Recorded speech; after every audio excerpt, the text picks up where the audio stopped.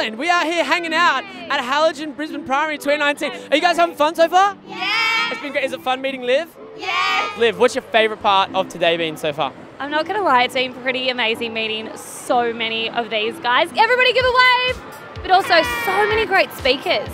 And I just love that I didn't have this chance to, you know, be taught to have leadership skills and that you can make a change at whatever age you are and a positive impact. And so I think it's just incredible. Probably the most important question. What did you have for lunch and was it any good? Yeah, I had uh, three chicken and avocado sandwiches.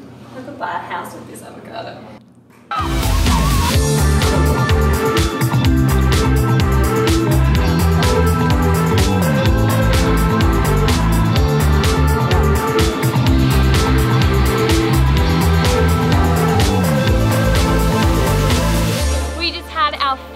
National Young Leaders Day of 2019 and it was an absolute hoot.